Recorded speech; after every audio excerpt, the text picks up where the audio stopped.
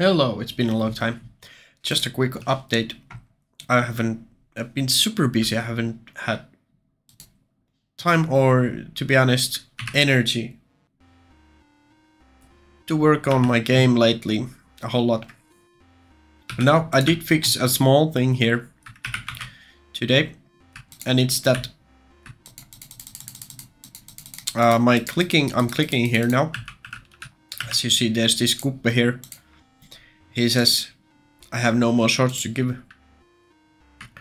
And if we didn't have this wall here, we could click him and he would tell us he has no more swords to give. Like so. But now we do have this here and we can no longer click through it.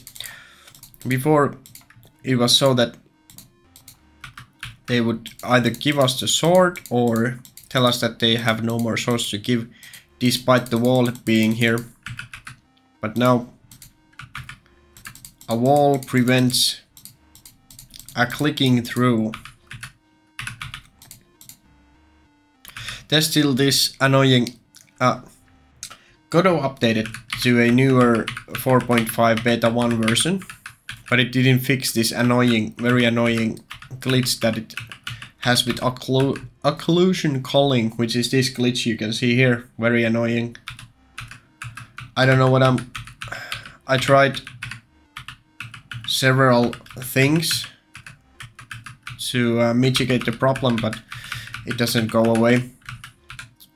Maybe I'll just disable occlusion culling for now, entirely.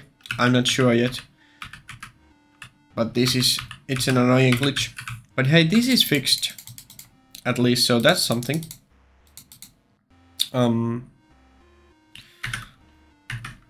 yeah, that was pretty simple. That was a pretty simple fix. Actually. It just, now it um, also collides with bodies, not just areas, but with bodies. Here we are. Collide with bodies, collide with areas. It's now true and true, so both. And then we just detect that if it's not, where is it? Here. If it's not an area 3D that we are colliding with, just return and don't do anything. And if it is an area 3D, uh, go on as, as planned. Okay, we'll have to do something about that colliding thing later, but this is it for now. Bye.